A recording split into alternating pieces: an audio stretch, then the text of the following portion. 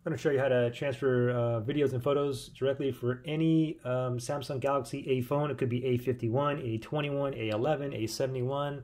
It's all pretty much the same, but we're going to be transferring photos and videos directly to the hard drive or uh, directly to the Chromebook and saving it to the hard drive. I'm not talking about anything to do with Google Drive or Google Cloud or anything, okay?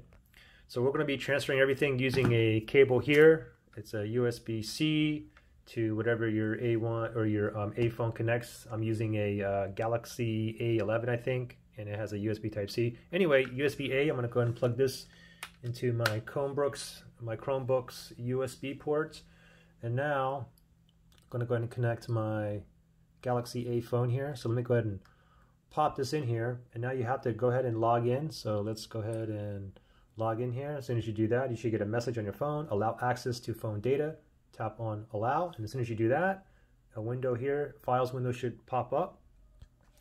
Just like this okay now the thing is if you didn't get this window that pops up here you may want to go ahead and go down here.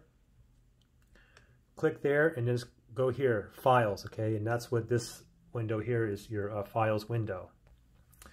So now I'll look for my Galaxy 9 if you I can see my it says Galaxy models here okay it doesn't say the exact name of your uh, Galaxy phone but it says Galaxy model. So let me tap on that. And now all your photos and videos are in the DCIM folder right here. So let's double click on that. Now I have a folder, my all my screenshots, and under cameras, all my photos and videos that I've taken. You can see I only have, uh, what's this, four photos, four JPEGs, and one video, one MP4. So what I'm going to do is now if you look over here under My Files, now everything under My Files is the, is the hard drive of the Chromebook. So you see a folder here by default, downloads. Everything that's in your downloads folder is saved to your Chromebook's hard drive. So what I'm going to do is make a new folder here. I'm going to go up to My Files and I'm going to double press or um, use two fingers to press on the mouse pad and then this option here will pop up, new folder. Let me tap on that. And I'm just going to go ahead and type in Galaxy A, new folder. Now I can go ahead and simply just drag and drop whatever I want into this new folder, Galaxy A, and that's going to be saved to the hard drive here. Or I can, uh, we'll just go ahead and uh, copy everything. I'll highlight all of this here and I'll drag and drop into my new folder I called Galaxy A. Let that sit there. And we should see a, you can see it copying right now. So it's transferring, give that one second. Okay, there we go.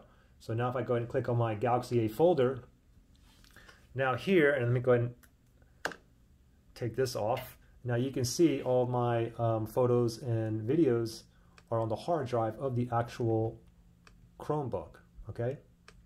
So there you go, pretty simple. Good luck.